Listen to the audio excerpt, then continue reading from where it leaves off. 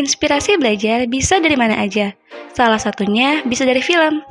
Ada beberapa judul film Indonesia yang ceritanya nyambung dengan kehidupan mahasiswa. Pas banget buat lo yang sekarang lagi senang-senangnya ngerjain tugas kuliah atau lo akan resmi jadi mahasiswa. Beberapa film Indonesia yang ceritanya menggambarkan jurusan kuliah ini mesti kamu tonton guys, sesuai jurusan kamu. Film-film ini bisa bikin kalian semua refreshing dengan segala tumpukan tugas yang makin menggunung. Nah, kali ini kita akan membahas 6 film berdasarkan jurusan kuliah kalian. 8. Tapi sebelum kita membahasnya, terlebih dahulu tekan tombol subscribe dan nyalakan lonceng notifikasinya agar kamu tidak ketinggalan video-video selanjutnya.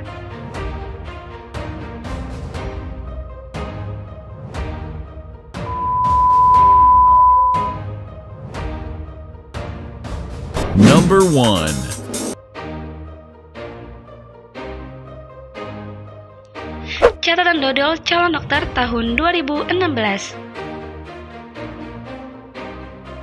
Film yang dibintangi sama Adipati Dolken ini cocok ditonton oleh mahasiswa jurusan kedokteran guys. Film garapan Iva Ivansyah ini nyeritain kehidupan para mahasiswa kedokteran yang berjuang supaya benar-benar bisa dapat gelar dokter. Konflik yang relatable bikin film ini jadi asik buat disimak lo bisa tahu kemungkinan-kemungkinan yang bisa terjadi kepada lo sebagai mahasiswa kedokteran. Yakin nih anak kedokteran nggak pengen nonton film ini?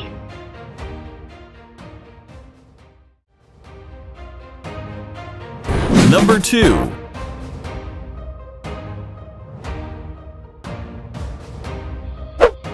Critical Eleven tahun 2017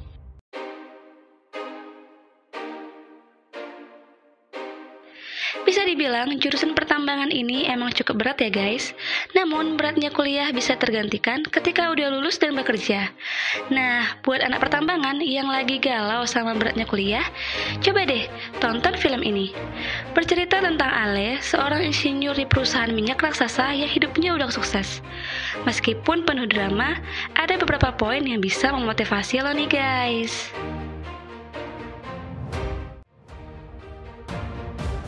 Number 3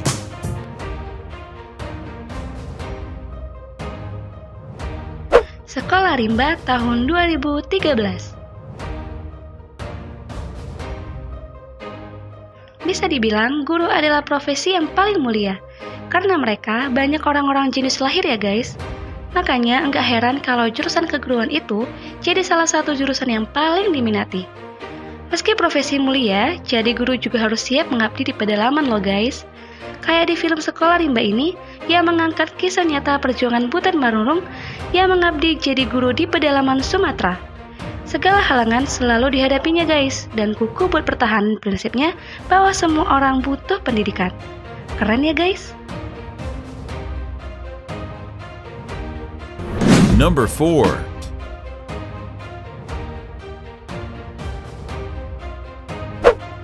Gerbang Neraka tahun 2017.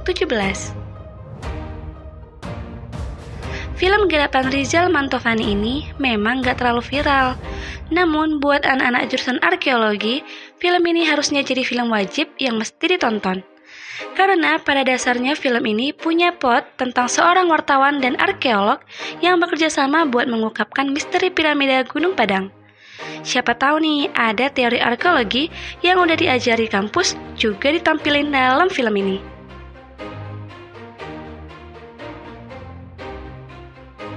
Number 5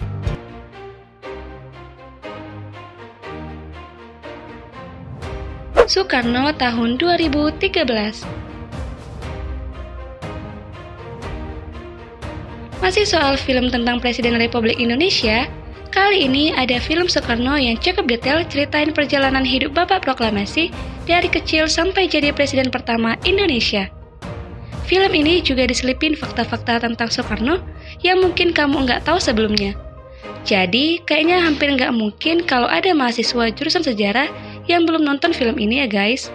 Karena film ini isinya fakta dan ilmu sejarah semua guys. Nah, jadi jurusan lain juga bisa nonton ya.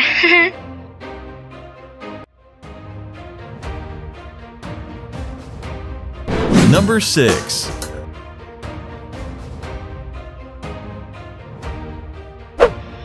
Habibie tahun 2016.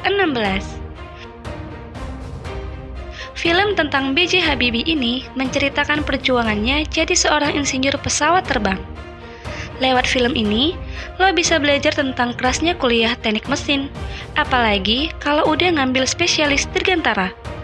Wah, cuma orang-orang yang isi kepalanya rumus semua nih deh, yang paham masalah ini. Film yang dibintangi Reza Rahardian ini bisa ngasih motivasi buat lo untuk mencapai cita-cita ya guys.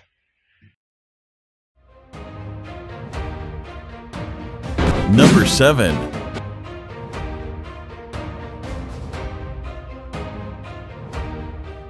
Catatan akhir kuliah 2015 Nah, yang terakhir ini nih guys, yaitu film catatan akhir kuliah. Film komedian ini diangkat dari novel yang berjudul sama oleh karya Sam Maulana berdasarkan pengalamannya semasa mahasiswa nih guys. Nah, film ini cocok nih buat kamu yang jurusan pertanian. Karena film ini menceritakan tentang seorang mahasiswa jurusan pertanian yang sulit menyelesaikan skripsinya. Jadi, film ini bisa menjadi inspirasi bagi kamu agar tetap semangat menjalankan perkuliahan.